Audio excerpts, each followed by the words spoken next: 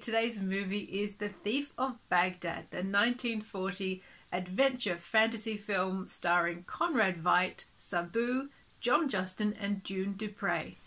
A young blind beggar named Ahmad tells the story of how he was once the Sultan of Baghdad until his evil vizier Jaffar stole his throne and his sight and separated him from the woman he loved and wished to marry.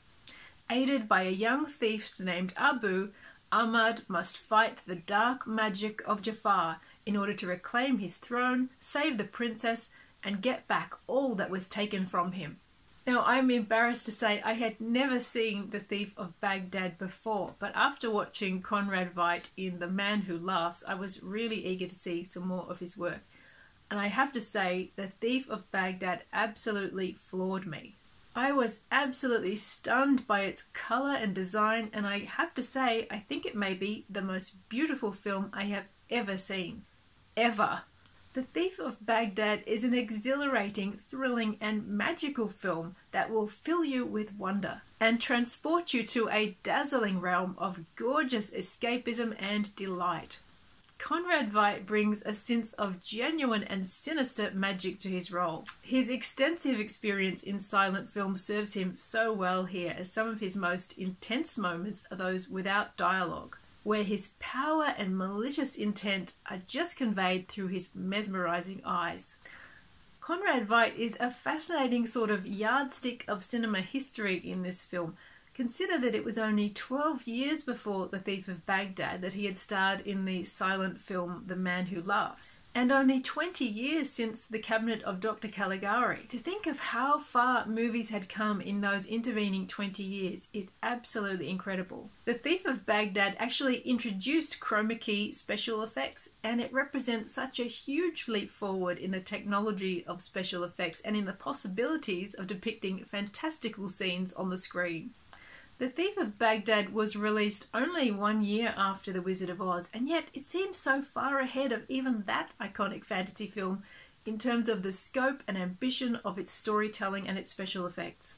The design of this film is so remarkable, so outstanding, that it actually gave me chills. And its visual beauty actually made me quite teary. I can't remember any time the aesthetics of a film have ever affected me this way before. It features a really rich, saturated colour that reminded me a lot of the Orientalist fantasy pin-ups of an artist like Henry Clive and also a little bit of the beautiful landscapes and colouring of Maxfield Parrish.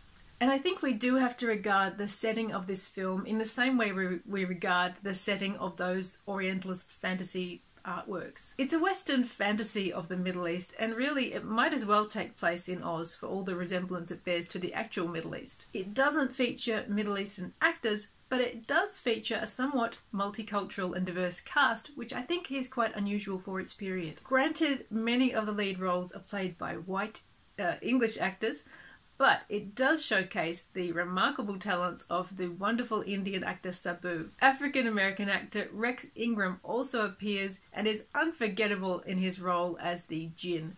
Many other actors of colour and diverse ethnicities also appear in supporting and background roles in this film, which does feel in some ways unusual for the period and even slightly progressive.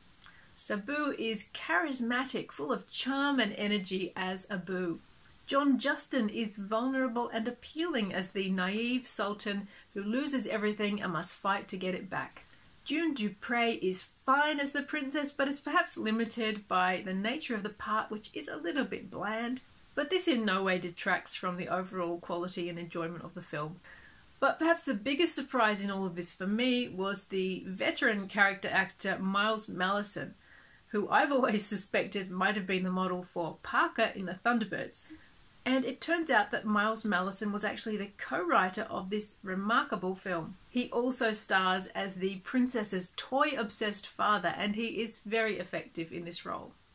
I've seen him in so many roles in British films over the years, and I've never realised he had this other string to his bow.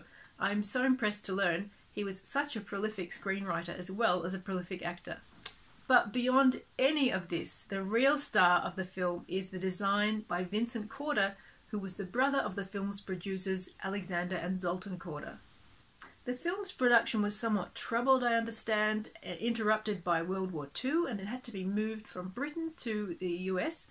And overall, it had six directors, but one of whom was Michael Powell, uh, famous for the red shoes and black narcissus, and I think his stylistic hand is very much in evidence in this film. Watching The Thief of Bagdad is like watching a vintage fantasy art illustration come to life. The whole film has the beauty of an artwork from the golden age of pin-up and illustrative art. And it's complemented by special effects which enhance rather than detract from the story. And I have to say, some of these special effects made my jaw drop. This is a film to be swept away by. If you are looking for a film to distract you from the current situation, to thrill you, to make your eyes widen with wonder, you could do no better than The Thief of Bagdad. It is a truly magical and enchanting film, and one that people of any age could enjoy. This film filled me with a sense of wonder at the creativity that people are capable of at their best. How often do you get to say that? The Thief of Bagdad is filled with unforgettable moments of sheer imaginative delight. It utterly takes you away from the present place and time into a magical and mesmerizing dream. If you haven't seen it before, I can only urge you to watch it. And if you've already seen it, watch it again because I know I will be. Thank you so much for watching today, and I hope I'll see you next time. Bye.